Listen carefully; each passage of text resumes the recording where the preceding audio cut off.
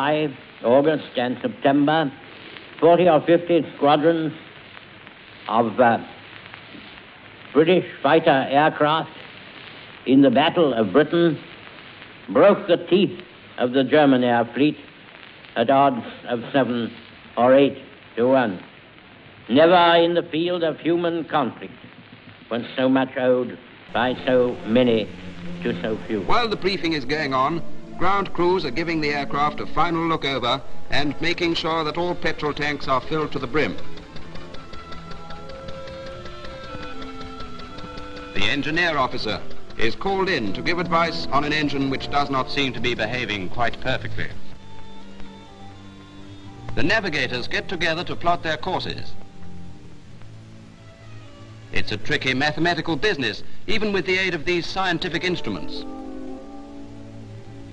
Hence the worried expression. Remember, if he gets his sum just a little bit wrong, he may end up in the wrong continent. Two more important items before going to bed. It's going to be unpleasantly cold way out over the sea, so the wise man lays claim to a thermos. It wouldn't do either to miss the early morning crew bus so call times are chalked up. The alarm clock is an extra precaution. And so to bed. While the crew sleep, their thermos flasks are filled with the hot coffee and sandwiches packed for the long trip tomorrow. Almost before it is light, the ground crews start the final check over. Meanwhile, the air crews tumble out of bed and into their flying kit.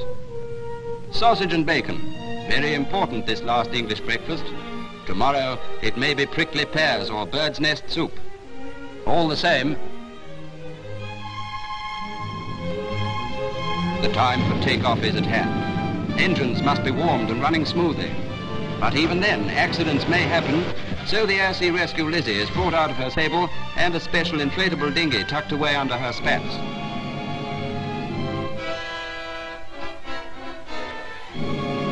breakfast is finished. The mess secretary is taking no chances. There's no calling these lads back. Up the engine. The rear gunner makes sure that everything is working smoothly. You never know who you may meet.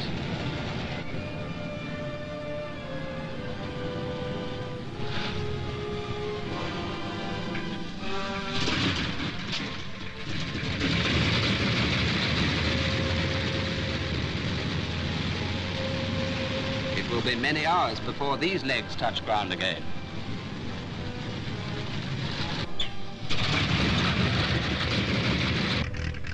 First away is a Beaufighter, the most viciously armed of them all, and then a Wellington. The long procession of bombers and fighters has started. Another Beaufighter, a Hudson, yet another Beau, a Blenheim, a Wellington, Okay to take off? Righto, Hudson. All clear.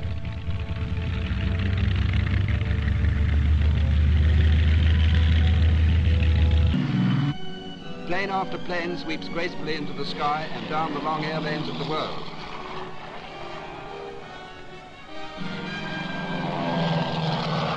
Up they go, their noses turned seaward.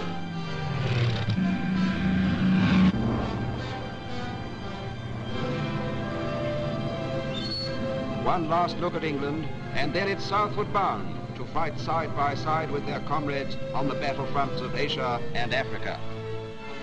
Goodbye and good luck.